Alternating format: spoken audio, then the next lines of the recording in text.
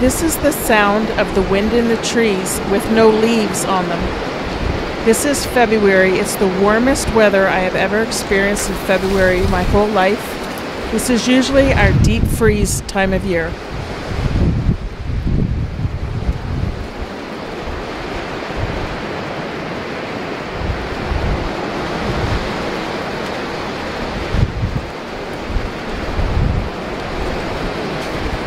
Very windy Wednesday today. Yep. Things are just getting tossed around, blown around. It's February 15th. It's warm out here. It's sweater weather. Almost. Well, not really, but it's windy as anything and it's you can be out here in a sweatshirt. Time to go inside, get things done. I finally decided to stop procrastinating and get these lights set up and these shelves all set in order and ready to go for the new seedlings. I know that once everything is set up um, and ready to go that I'll feel better about starting my seeds and it, it, it'll just begin the whole process. So it's a good thing to get this finished. Okay, so this is what I've got set up so far. These two sets of shelves are supposed to be adjustable. Anyways, they're adjusted on the same levels. This is for when the plants get larger, like my peppers and my tomatoes. They grow really tall, so they, they'll be in like pots that are about this deep, and then they grow up to the lights usually. So that's why I keep these this size. Now if I have to put seedlings in here, then what I have to do is, where's my seed trays? What I have to do, if I have seedlings in here, I have to put some kind of shelf here and put them right under the lights. So that's what I use this set of shelving for. This this is this is not adjustable. Um, these are just shelves right here, right here, right here. Like I can't move them up and down. So this is usually for my seedlings and for short things like my flowers and lettuces and um, cold weather crops that don't grow really tall like my peppers and tomatoes. I can keep them in these shelves. And um, I put them on top of like a tote or something here and I'll have them really close to the lights to begin with. So I've got it figured out. I was really trying to convince my husband to get me new shelves, like the chrome ones, but we got this figured out. So it's going to have to do for this year. I really don't, like I've got two foot size lights and I had to spread these out a bit because I don't have any of my white lights in two feet. I do have some two foot size of the yellow lights. I have four foot and two foot size of my yellow lights, but I only have four foot lengths of the white bright lights. Um, it would have been a lot easier and I could have condensed this a little more together if I had three two foot white white lights. So now that I figured out um, this setup, okay, so it's ready to go, I'm going to turn lights off and show you how bright this is.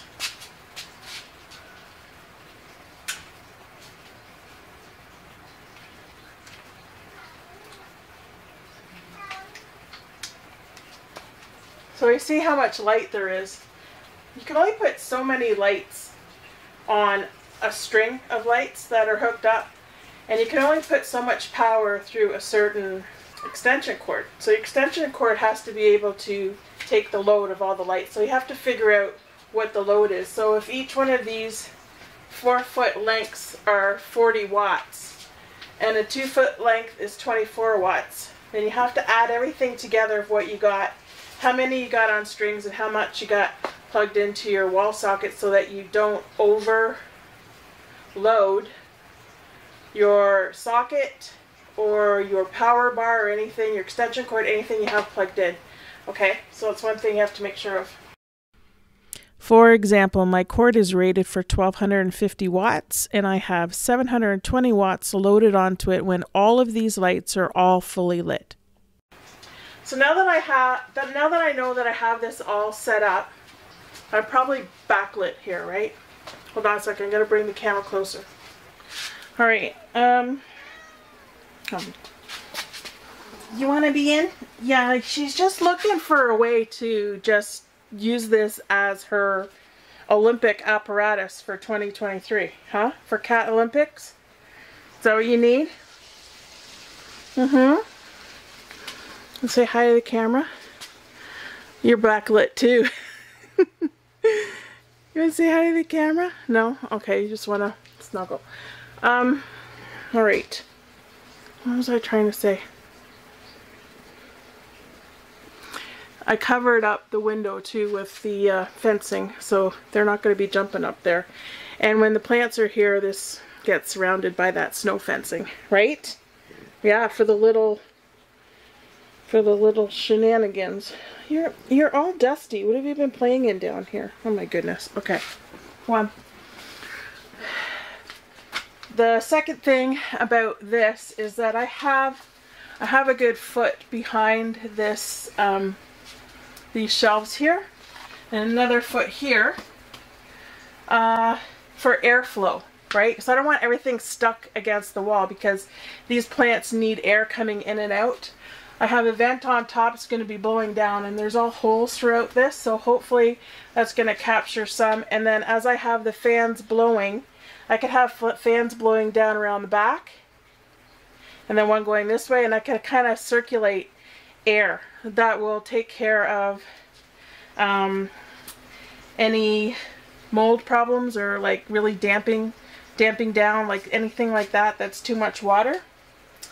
So this is for my fencing. Um,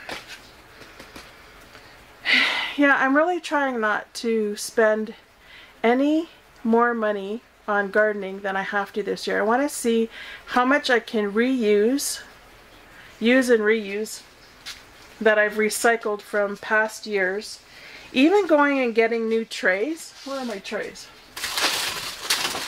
Even going and getting new seed trays. Do you remember my video? If you look past my video from last summer and I had the huge blue buckets and I was cleaning out all the trays that I used for the past couple of years. I was bleach, putting them in bleach water. Um, so these are these are nine. These are actually smaller, smaller than my six section ones. I like the six section ones more. So I am really tempted to go buy new ones. But I do have those ones that I washed.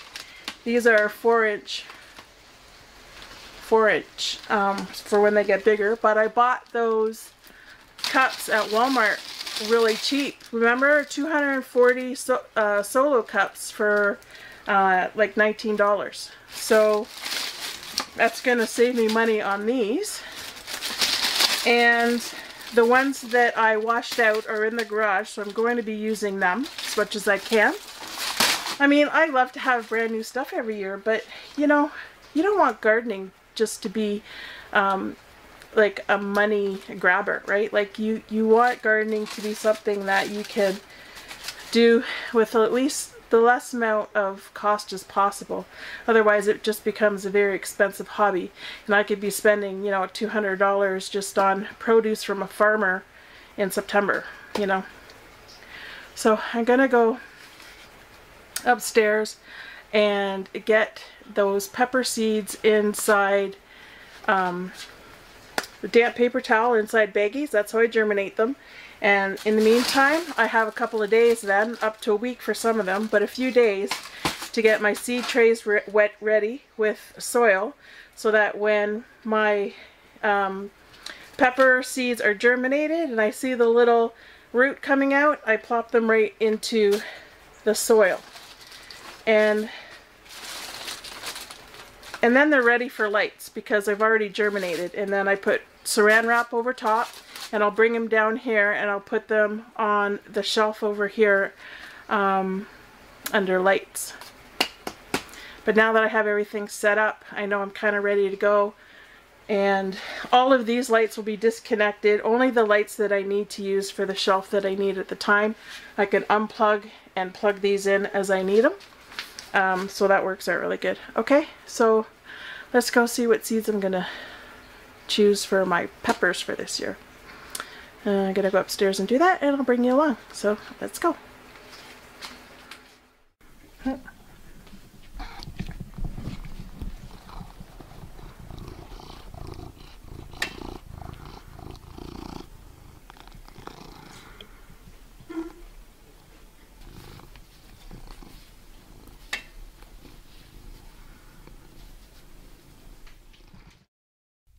Three days later. And here, starting off, I got some Johnny's seeds, and there's some lunch box seeds. I got red, I've got orange, and I've got yellow. Those are the Lunchables, the snacking size. And then I have a new pepper. These are called Summer Reds. This is a hybrid. It's supposed to have a nice thick wall to them and easy to grow. So I decided to try something new this year and see how these go compared to a bell pepper. And then, of course, the Marconi Rosso pepper. Um, these are also known as a ram's horn. They they curl like a ram's horn. They are good for fresh, for freezing, and for grilling. They taste really nice too and their heirloom. And of course, our orange bell. I really like these orange bell. They're a medium size orange bell, and they seem to do really good every year that I plant orange bells. And um, I was happy with them last year, so I'm planting these again this year. And I can't leave out that I still have my shepherds and my jalapenos. Okay, I got my ziplocked sandwich baggies here, my magic marker, all of my paper towels. I have eight varieties of peppers, so I need eight paper towels. I'm going to dampen these up and get them ready to go.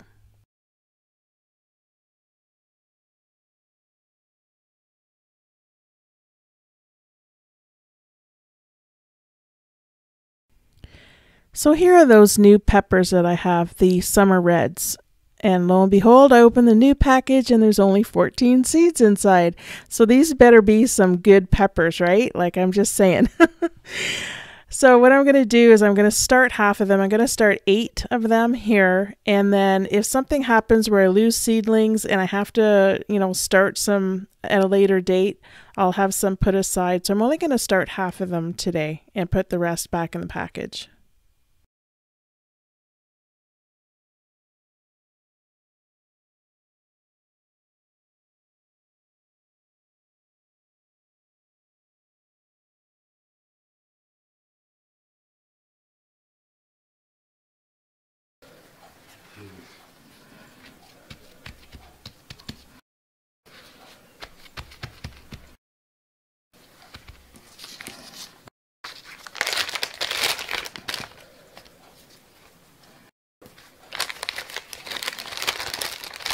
This is going to do is keep everything moist and damp till they germinate. Okay, and that's done. I'm going to do it to all the rest of them. And jalapenos, shepherds, lunchbox red, orange, yellow, orange bells, also some new pepper I'm gonna try. So these here these all go away. Just put them in a closet in a dark spot. Check some of these after three days and then sometimes it takes a week um, to two weeks for specific peppers to germinate. You need to check them and there we go. Five days later February 23rd. I'm laughing because I just came out and I did this video to show you all the ice built up. Look at this. how thick that is. Um, this ice storm that came, I came and I I crunched all, I was crunching all this to show you the thickness. My battery went dead, so I lost all my footage. Is that not crazy? These juniper trees here, they cannot handle snow and ice. These are rocket junipers, and um, they will get very damaged from ice and snow. Too much of a load. I can see, look at the fence there, you can see. You can start seeing things drip.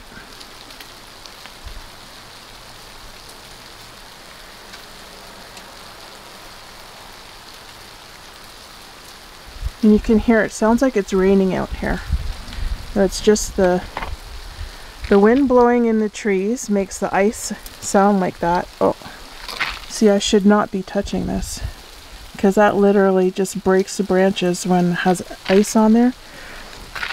And it is starting to melt now, but it is, it started about 10 minutes ago um, when I came out here.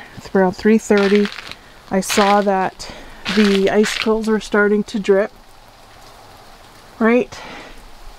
And this area here has been warm the whole time because this is a, it's a um, bird feeder or a bird bath uh, warmer. So I have water for the birds and the squirrels all winter and that stays in my Pyrex dish here because that's easy to sanitize. But look at the thickness of the ice. This was incredible. I just took this off my chair. All right. Um, the bird feeder has its roof melting now. And I wanted to point out, I'm so glad, I'm happy that I didn't go out and prune my grapevines last week when it was really, really warm. Because if I had done that, and this ice storm came, and if there was a wind, a lot of those canes would have been broken. So I'm glad I haven't touched that yet. I've been praying. Just look at these cedars. They're just overburdened with ice here. Just praying that we would not get the high winds that were predicted with this. See? That's like the thickness of a branch, small branch, right? And look at the thickness of the ice on here. Just crazy. Um, I was praying we would not get the high winds, and we didn't. We're very fortunate here not to get the high winds. Um, these cedars do not like ice. I'm so glad that's starting to melt. There are other areas that have higher winds and they have trees down. They have a lot more buildup, but when that wind comes, those branches break, trees are down, and they're out of electricity. So there are a lot of areas that are out of that are out of power. So uh, yeah, just crazy weather, and um, counting my blessings, as little as they may be. A blessing not to have wind while you have an ice storm is a very great blessing. Damn, that is thick.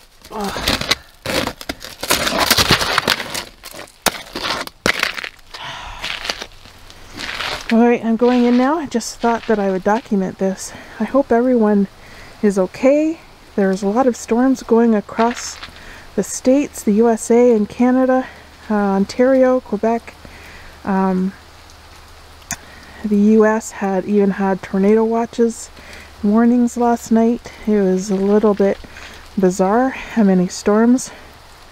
Um, there are areas that had snow. I think Southern California had snow. Um, and this is us here. So everybody, I hope you're staying warm and safe and that you weren't set back at all by the weather this this last day. Oh, hello little birdie. Hi.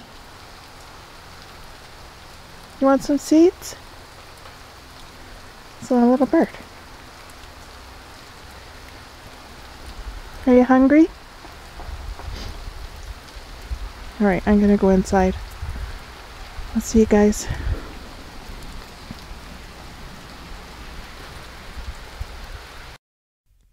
Three days later.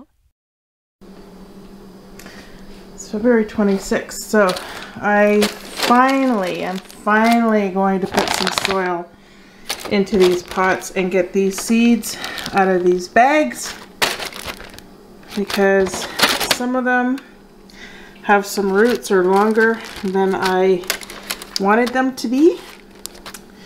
Um, but things come up every day and it's like, okay, I'll do it tomorrow, I'll do it tomorrow, do it tomorrow.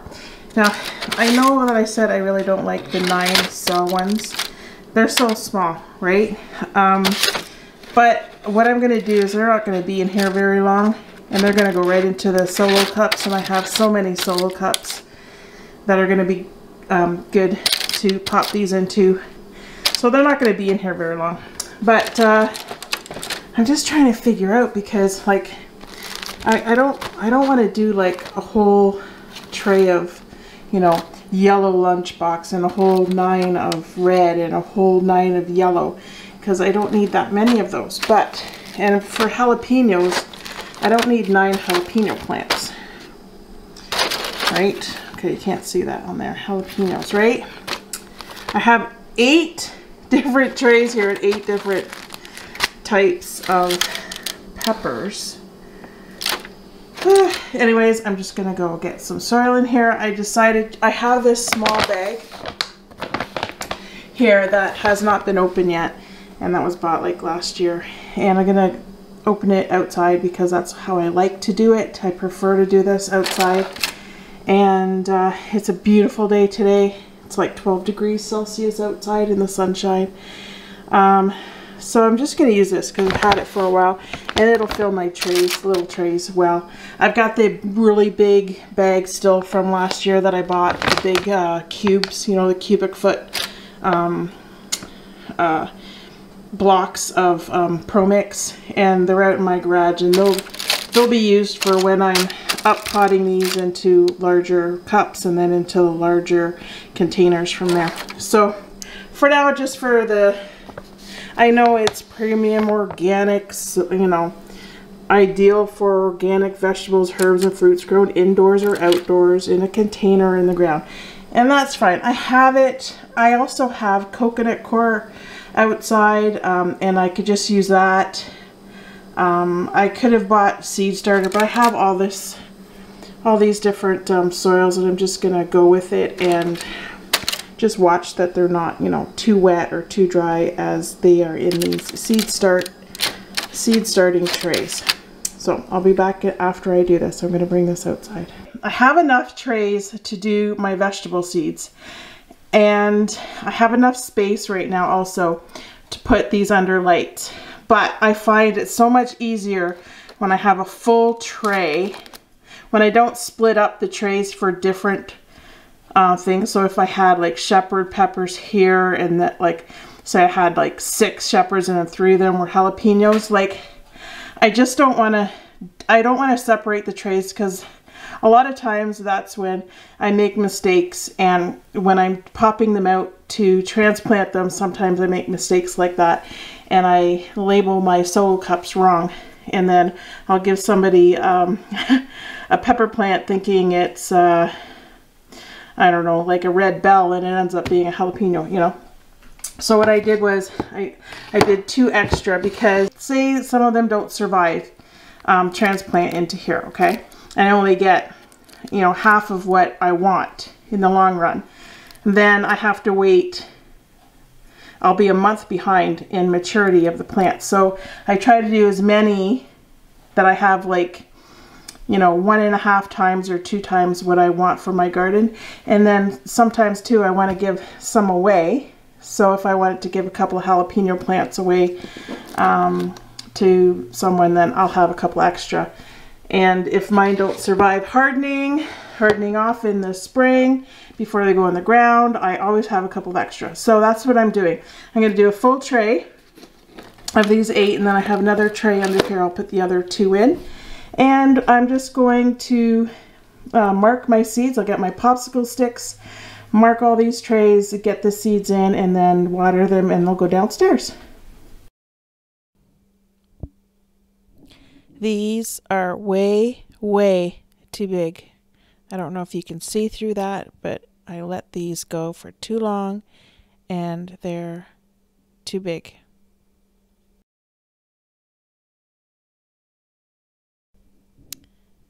See that there? See that little tiny area there? If that little tiny area, if I let that crack at all, then I would lose that whole seedling.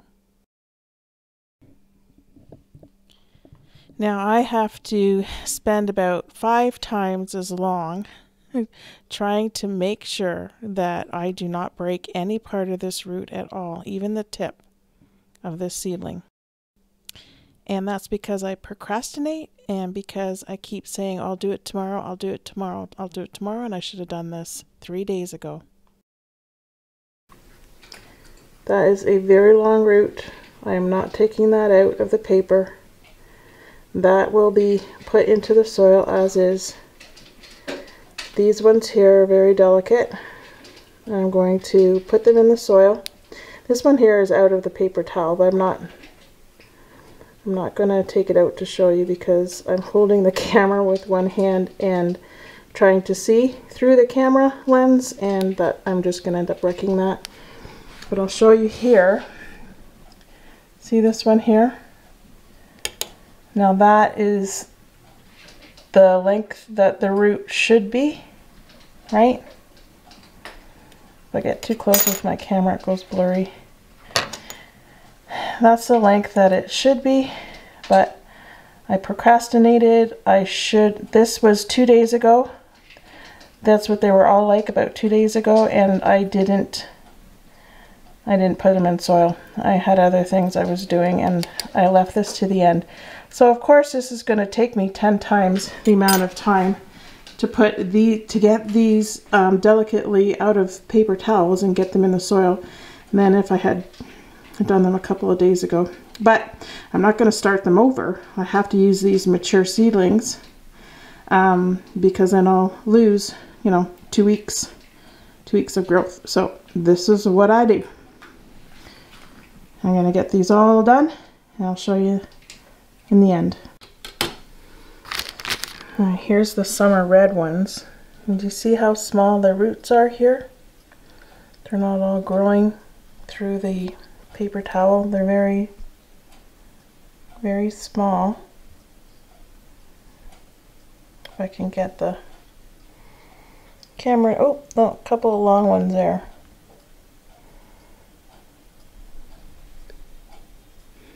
But actually this one here is a little, a little long, but it didn't even go through the paper towel. It's kind of laying on top of it. So those, those are a couple of little bigger ones, but these ones are smaller. It'll be easier, easier to get off the paper towel and into the tray here. Looks like I'm getting about nine of each except for the lunchbox yellow. What, is it the lunchbox yellow? Yeah, the lunchbox yellow, and I tried to take some of the soil out of there and put it into the other ones. There's there's not a seed in there, so there's only eight in the yellows. Now, I only had eight seeds that I put in the paper towel for that summer red, and um, two of them have not germinated. One of them looks like it might be. So what I'm going to do is the ones that did germinate, so there's a six there, um, I'm going to put them in two straight rows. So I know that, that both sides there have germinated. And then I'm going to put these seeds here on either the top and the bottom and put them in just, I'm documenting this. So these two didn't really germinate yet. Now they, they look like, this one here looks like it might be, but I'm just to pop those seeds in to the top and bottom here and we'll just see if they come up and if they don't, they don't. This is the new summer red pepper. It's a hybrid and I have never planted this one before so it's going to be a new one and that's okay. Just to have six of those, that's fine. And here I am with the shepherd seeds and I think I only have about four of them that have germinated out of this whole batch. So I'm going to keep them in the damp paper towel. I'll take the four out and I will plant them. I'll mark where I plant them. I'll take the ones out that have germinated and put the rest back in the paper towel. So I did get nine that I could see were starting to germinate. So I, I were I was getting um, tail little tails on a few of these and so I did pop them in the earth and then the rest of these because shepherds are my favorite and these are these are second seed which means they're seeds from shepherd peppers from the peppers themselves that I grew. So I'm going to put these back in into the baggie and and I um, I actually ordered McKenzie had a sale on last week and it said one day free shipping and so I popped on there just to kind of see what they had and um, if there's anything interesting for me and I believe I'm not exactly exactly sure but I believe that there might have been some peppers that I um that I might have ordered and I should have them tomorrow. So if I do that then I'll get them started to be germinated and I'll keep that extra pot um, tray for other peppers, either the shepherd peppers that um, continue to germinate in the baggie in the paper towel um, and I'll see what new ones that I'm bringing along. So anyways, I'm so glad I've got these done. They're going to go downstairs under the lights. And this is the beginning of the 2023 garden season for Ontario Gardener. And I think the next video I'm going to do, I'm going to talk about zones. So you know how I'm in zone 6, I'm actually in zone 6B. And I'm going to be talking about um, uh, weather zones, planting zones, um, garden zones, what the difference between some of them are because um, some people think, oh, well, you're in zone 6B, that means, uh, you know, you can you can plant at the same time somebody else in zone 6B more south of us um, can plant. Um, so zoning has to do with how cold your winters get how deep of a cold, like how cold, how low the temperatures go and high, how high the temperatures go sometimes. Um, so the temperature range of where you live, because if you have some perennials or if you have some particular plants or shrubs, anything like that, that are in the garden um, that cannot handle being overwintered, if it goes, you know, minus 40 degrees outside, they're going to die, um, then your zone cannot handle those particular plants in your area. So, for instance, we can't grow oranges in Canada. um, and then there's the other thing, well, um, somebody can be in so, zone 6B or zone 7 and they could be planting stuff out in April or March that I can't plant until June, right? So we'll be talking about the different areas and what a what the difference of our zones are and then how to know the difference between like your your first your late your late frost, your latest frost. So if my latest frost is May, May 24th, somebody else's latest frost might be in June. That's up north, right? And so you can't plant out your um, your nightshades like until June or the middle of June and vice versa when the first frost comes in the fall some people get frost in September and it'll kill off all your tomatoes and peppers and other people don't get their first frost until November right so we'll talk about that too in one of my next videos and I have some maps and some links to uh, to give to you but for now I'm going to finish these peppers and we're going to get them downstairs, okay? So don't forget to like, subscribe, and share my videos, and leave comments or questions if, if you please. All right, I will talk to you guys later. See you later. Bye-bye. Soon, all of these all of these shells will be full of the big plants. But this, this is how it starts.